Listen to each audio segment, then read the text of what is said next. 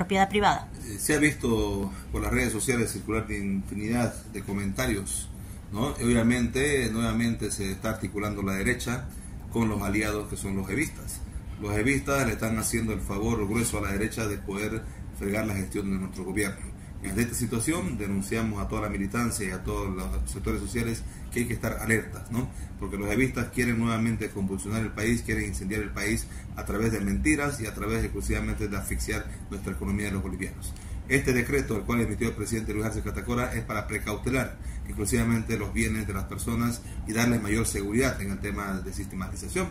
Pero obviamente aquellos que de dudosa procedencia han llegado a conseguir algunos bienes están preocupados. ¿Por qué motivo? Porque posiblemente les pueda afectar a ellos. ¿En qué les afecta? Si que nosotros hacemos una... Eh, se recupera un bien de, de, un narcotraficante y posiblemente tarda meses en poder agarrar y transferir exclusivamente a las diferentes instituciones.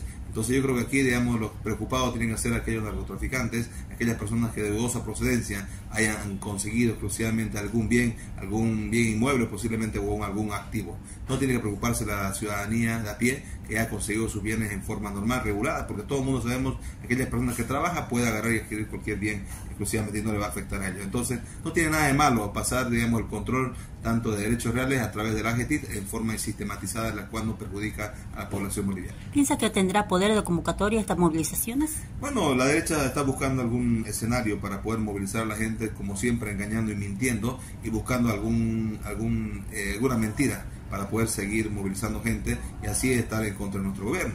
Pero yo creo que la población se da cuenta y no va a caer en estos eh, falsas convocatorias que al final de cuentas no tienen eh, ni pie ni cabeza.